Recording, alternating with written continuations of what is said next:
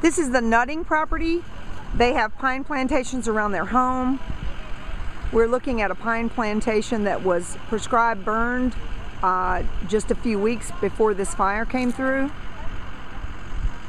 The pine plantation's ends and they've got defensible space around their home and barn.